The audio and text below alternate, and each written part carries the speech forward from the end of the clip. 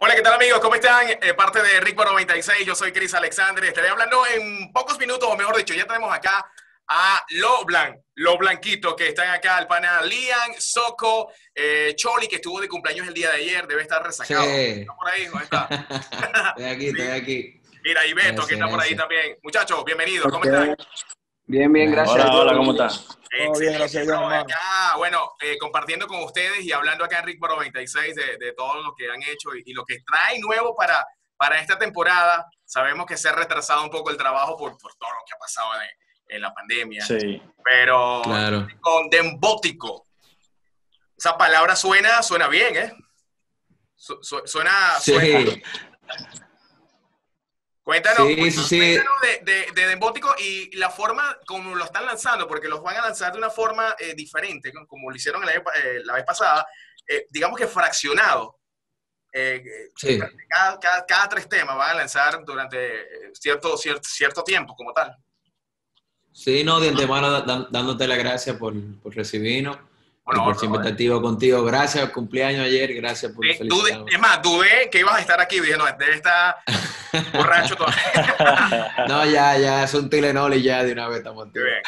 Eh, no, sí, eso de, de Dembótico es un concepto nuevo que traímos. eh, básicamente una producción de un álbum, pero fraccionado, como tú dijiste, Ajá. de tres en tres. Y en verdad ha sido bien, la gente le ha gustado, ha asimilado los tres temas, que eso es lo que nos interesa. Y, y bien, la cosa Mira, ha caminado una- bien. ha pasado, ha pasado tantas cosas en, en los últimos meses con ustedes, porque siento que, que, que, que, ha pasado cosas rápidas en el sentido de que ah, vamos, a, vamos a enumerar como, como éxito o como impacto lo que fue el Telacutí.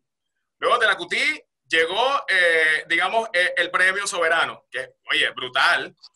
Luego vino lo de Sony, después vino lo que, digamos, el, el concierto en el, en el Teo Cruz, que también fue fantástico. O sea, ha pasado cosas importantes, brother. Sí. Tú sabes, tú sabes que todo eso es porque siempre hemos trabajado enfocado, hemos trabajado con buena vibra, eh, poniéndole el proyecto en manos de Dios. Y entonces las cosas han pasado tan rápido, así como tú dijiste, que, que a veces uno se siente y dice, wow, pero en, en tres años que tenemos trabajando hemos, hemos logrado tantas cosas. Sí, que, cierto. que son cosas que otros artistas han logrado en 10 años y 15 años y, y muchísimo allá afuera sueña con, con poder lograr. Entonces, por eso nos sentimos muy bendecidos y, Mira. y sentimos que tenemos un deber de, de seguir trabajando fuerte. Te voy a decir algo, ya tienen números para una para estar en el, en el Salón de la Fama, ¿no? De, de béisbol. No, no, no, pero tiene buenos números, No bien- falta. tiene buenas proyecciones. Eh, Sí, ahora mismo, tú sabes que ahorita mismo, eh, hace un par de días cuando anunciamos que íbamos a estar con ustedes en entrevista, eh, las fans se enloquecieron. O sea, tienen un, tienen un arsenal, digamos, un, un ejército de fans que también están enloquecidas por todo lo que están haciendo. Muchachos, ahora vamos a hablar de- del embótico, eh, el porqué de, de, de lo diferente que se, se escucha ahora, porque realmente se escucha distinto, se escucha más maduro. Se, se, se escuchan como que ya están pagando impuestos y todo eso, ¿eh? más adultos. si tú supieras que se están pagando desde el principio. Ah, bueno. Bueno, eh, Pero es, algo, sí, es algo lo que Dale. Beto, dale, Beto ahí. Explícale en chino de embótico. Realmente Dembótico es un, un concepto prácticamente de dembow y, y música romántica también. ¿Qué sucede? Nosotros siempre hemos tenido ese flow como jocoso desde Ajá. la cultura. Entonces ahora viene una nueva etapa donde nosotros ya maduramos un poco a nivel musical. Tenemos una letra un poco más profunda, el ritmo que venimos trayendo nuevo, es un ritmo que la gente no conocía de nosotros y venimos a traer la parte romántica ahí también, donde también tenemos los versos pic- picantes como siempre lo hemos hecho.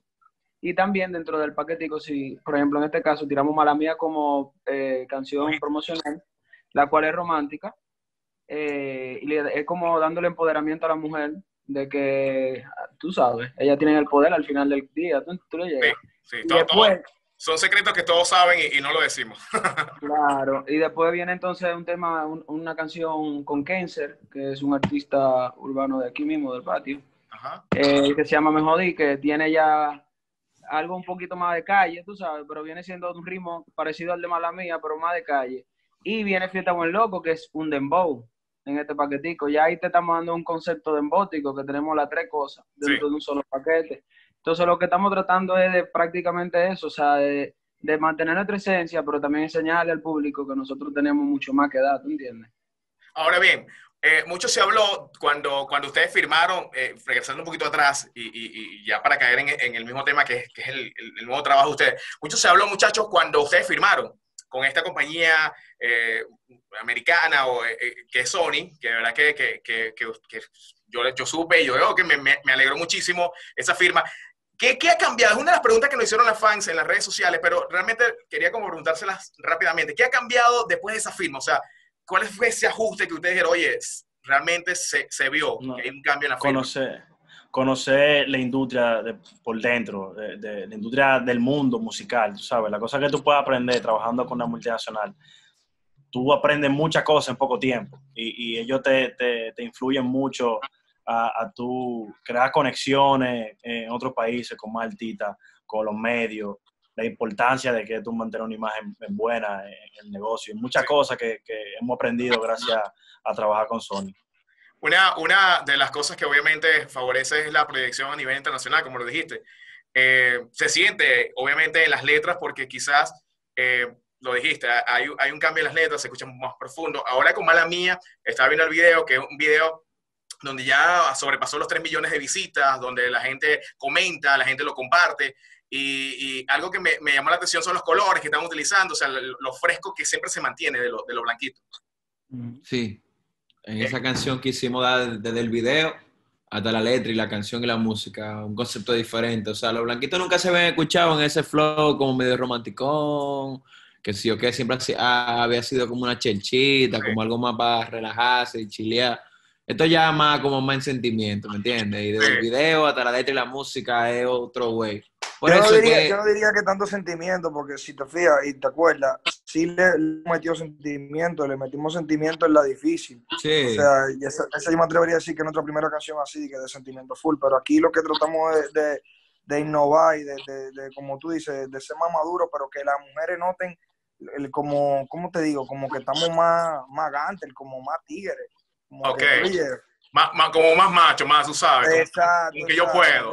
Que si ellas están lo- creciendo, si ellas están creciendo, nosotros también estamos creciendo. Iba a decir eso porque desde que ustedes salieron como agrupación y se conocieron y la gente empezó a seguirlo, obviamente hay una, hay una eh, gran camada de, de fans que son eh, chicas, jóvenes, muy jóvenes. Y ya esas niñas ya están votando, ya este año votaron. Entonces hay que darle un flow diferente, ¿no? Sí. Claro. Mira, ahora Por eso es, Sí, no, por eso hay es que que- reivindicarse con el tiempo. Y por eso es que todos los artistas tenemos que innovarnos, tenemos que, que, que adecuarnos a los tiempos. Porque es que así como tú dices, los fanáticos que, que antes eran más pequeños, ahora están creciendo, tienen, tienen una visión del mundo diferente y entonces uno tiene que ir eh, con esa generación que, que, que apoya a uno desde siempre.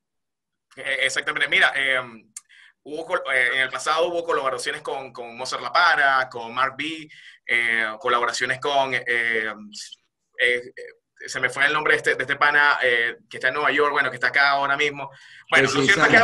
Sí, eh, Mesías, Mesías, Mesías, Mesías. Mesías, Mesías. Que me conjuro, Mesías, Mesías. Jesucristo, Mesías, eh, hay una- hay- pero lo cierto es que han tenido buenas colaboraciones. En, en esto que traen nuevo, eh, se pueden nombrar, eh, adelantar algo que traen por allí con alguna colaboración bien importante, eh, como tal.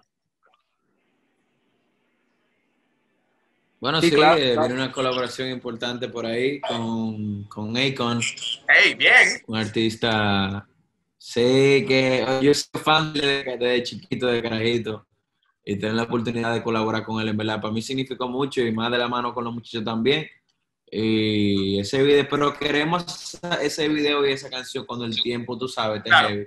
Porque ahora mismo estamos en una pandemia y le queremos sacar el mayor provecho posible, tú sabes, hacer un buen video, hacer una buena promoción, Mira, etcétera, tiene- etcétera. Tienes un invitado nuevo ahí. Pero sí, Tienes un, un invitado sí, no, ahí. es el, el, el timito, que él no Mira. se pierde ninguna entrevista. Qué bien, qué bien. Muchachos, de verdad, eh, no, emocionados por tenerlos acá. Una, una de las cosas que, que nos han preguntado, mira, tengo las fans que me han preguntado de loco. Una de las preguntas que más me, me gustó que hiz- hizo una fans eh, fue que, ¿qué han, entre todos, pueden, pueden responder, qué es lo que más han sacrificado por sus carreras? ¿Qué es lo que ustedes dicen, oye, no estudié una carrera, no hice el viaje que hice por, por, por estar lleno con la música?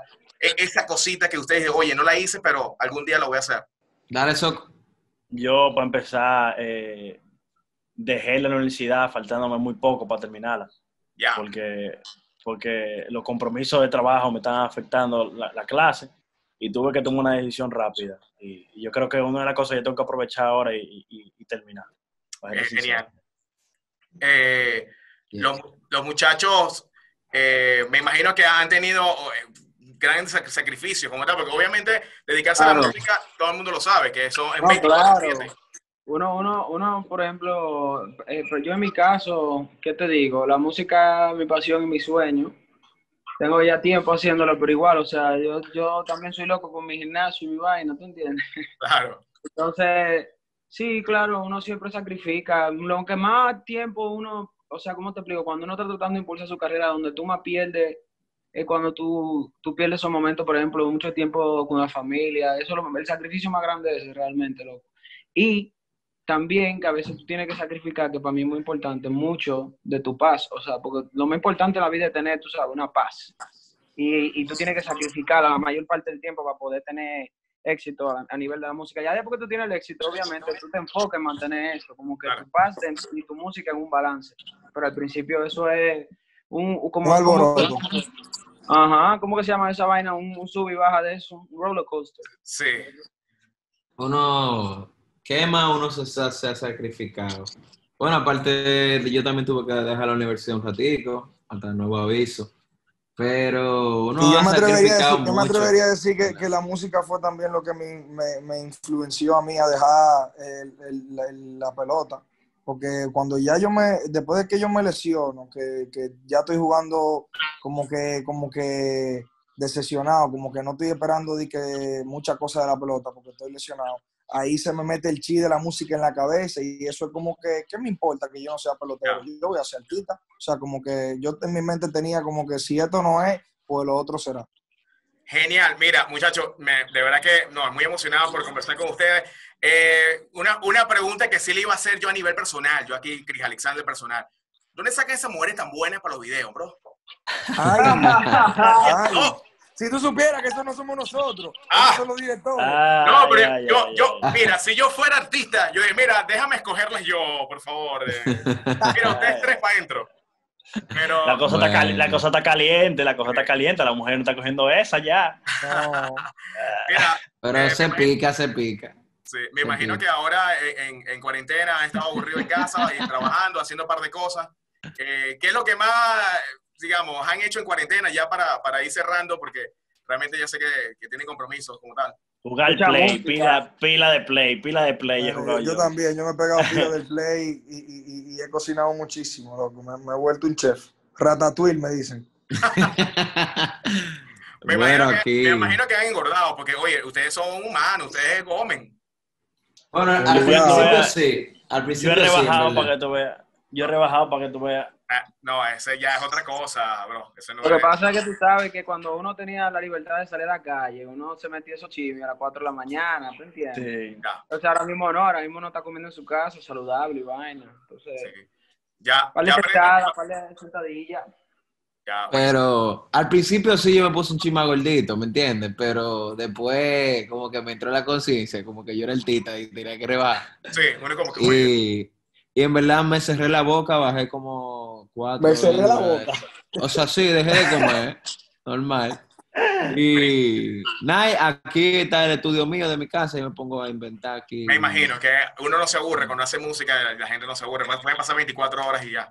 Mira, muchachos, de verdad que eh, nada, quiero que le envíen un saludo a, la- a- a- a los oyentes de Ritmo 96 y a las fans que, lo- que lo siguen. Y que nada, que están esperando lo que ustedes lancen, que solamente están como, como las pirañas, pero en buena onda. O sea, lanzan algo para que Le para tenemos-.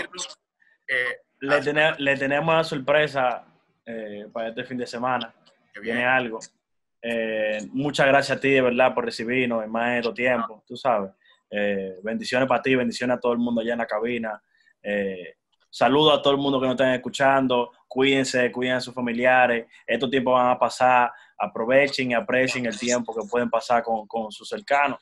Y venimos con mucha música buena. Nada más. Y lo más importante más. de todo, lo más importante de todo, no soy cristiano, pero no pierdan la fe en Dios, que es el único que nos va a sacar de todo esto. Eh, pero, eh, mira, pero que- como han crecido, muchachos, eh, están maduros ustedes.